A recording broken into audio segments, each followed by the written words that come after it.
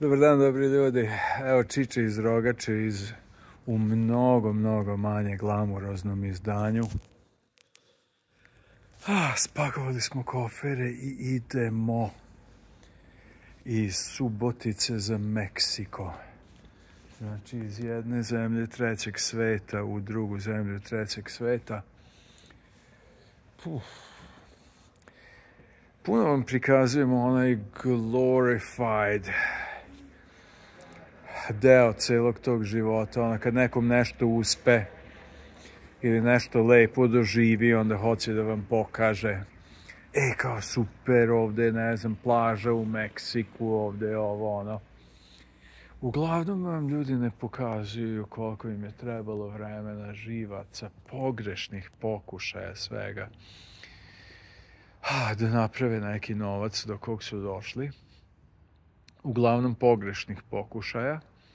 Jer da, da bilo kome uspe onako 1, 2, 3, 4, ono sve iz prve, taj čovjek bi se obogatio sa 12 godina. Ali nije sad to ni važno.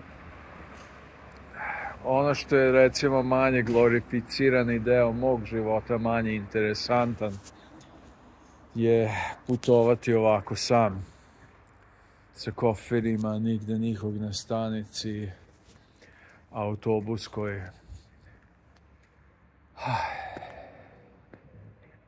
samoća može da iscrpi čoveka. Može da mu puno, puno toga odnese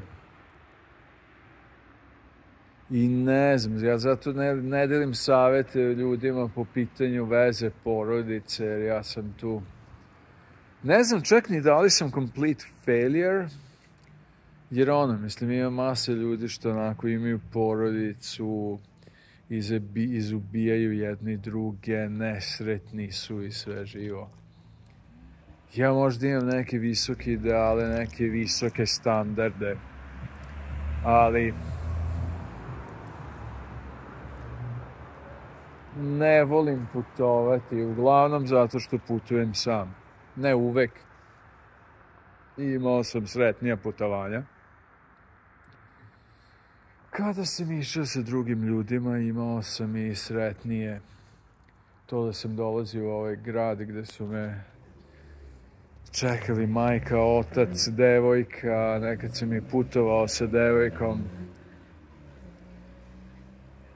Išao sam i na medini mesec u Bali, odnosno na Bali. Na kraju sam završio u Lamboku. Lambok je malo ostrvo pored Bali, ali nije to ni važno. Hong Kong i tako. Uf.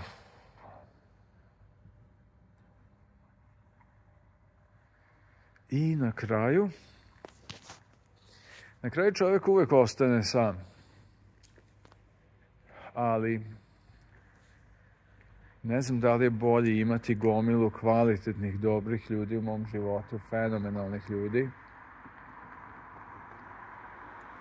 ili imati jednu osobu sa kojom čovjek podeli dobro i zlo i sve. U svakom slučaju putovati sam stvarno je onako Alan Fordovski, ako niste čitali Alan Ford, to vam je ironija, sarkazam, pa dignuto na peti stepen iznad toga. Znači, u isto vreme čovjek ide na Kozumel, raj na zemlji, četiri meseca u zimu, svako me prvo pita, ideš tamo na posao? Ne, ne, neću niko ne barisati, ni raditi ništa. Idem samo da se bavim triatlonom i tako, a u isto vreme sreća nije prava sreća ako je nemate s kim podeliti. A isto tako i tuga nije prava tuga ako je imate s kim podeliti. Tako da je sreća kad se deli, ona se množi, a tuga kada se deli, ona se ona se gubi. jer sa prijateljima, sa porodicom, sa ljudima čovjek može sve, sve da preživi. Ali ništa, eto, ostao sam kompletno siroče. Znači, bukvalno bez igde ikoga. Sa šta je tu je? Jedna jako dobra stvar u ovoj celoj priči, to je kad čovjek stvarno nema nigde nikoga, je što nema nikome da se požali. Znači, nekad, nekad bukvalno uguglam zato što ne mogu da budem ni tužan, ni ne znam šta, jer nemam kome da budem tužan. Eto, vamo pričam ovo, mislim, zato što nemam, nemam kome da pričam.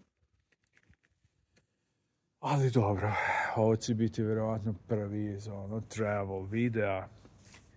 A kad se dobro naspavam, sad bih trebao već počinjem i putovanje u ponoć jer imam let u 6 ujutro iz Budimpešte za Frankfurt i onda je Frankfurt 11-12 sati do Cancuna i onda će tamo biti još sad dva po Meksiku putovanja, čekanja, svega.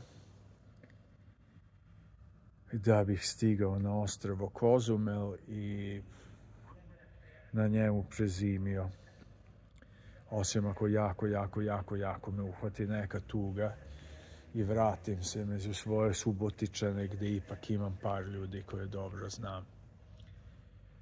A, pu, pu, pu, to je to. Um, ništa, eto jedan setan video.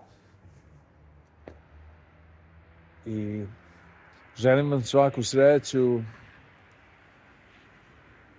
prihvatite sve moje savete što se tiče zdravlja, što se tiče financija, čak i što se tiče nekog životnog stila, ono kao kako plivati, kako raditi druge stvari. A, a što se tiče relationshipsa i svega drugog, nemam pojma. Verovatno da sam ja posljednji čije savete možete gledati, ali s druge strane, možda i nisam, ja sam manje više na nuli. Mnogi, mnogi ljudi su duboko, duboko negativno. Ja znam da sam se osjećao mnogo lošije kad sam bio u lošim vezama. Tako da ovo nije uopšte tako loše, ali nije ni dobro. Ok, bit će još travel videa, ovo je ovako. Kada čovjek ima sam svoje torbe i čeka prevoz, kombija Paxson Travel. Iz Beograda za Budimpeštu, nekad nješnji Feriheć aerodrom, sada. List Ferenc, ja se još sećam kad je stara zgrada bila, tako da uf, nekad je dobro biti veteran, ali nekad, nekad čovjeka umore te godine. I nažalost umorem u telo. Šta god čovjek da radi, bolje biti zdrav sa 50 nego nezdrav sa 30, ali vremenom vas godine dokreće šta god da radite. Ali dobro, naše je da se odupiremo tome i idemo dalje.